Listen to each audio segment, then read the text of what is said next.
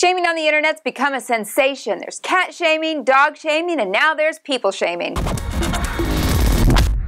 Alicia Hessler went out with some girlfriends and met a man while they were out drinking. They decided to let him tag along in their party, and when he got in the back seat with Alicia, he decided to make some unwanted sexual advances. He just wouldn't stop. She tried hitting him, but to no avail. That's when she claims, he started beating me repeatedly until I had a broken nose and a concussion. Later that night, though, Gabriel, the man who'd beat her up, had a change of heart. So he did what people do now. He went on Facebook to make things right. Last night was a wake-up call. I seriously need change. She agreed that he does need to change, and so the two made a deal. Gabriel would agree to sit on a street corner with a dunce cap and a sign that said, I beat women, honk if I'm a scumbag, and in return she would not press charges. But while these two seem happy with the arrangement, the police and a battered women's advocate, Mindy Murphy, are not so happy. The fact that we've got a guy sitting in a dunce cap with a sign on the side of the road really is trivializing a serious issue. But Hessler feels differently. I didn't want him to be locked up for a year. I honestly don't think that would teach him anything. What do you think about Alicia taking Gabriel's punishment into her own hands? And while you're here, subscribe to One Minute News. Like and share our videos with everyone you know.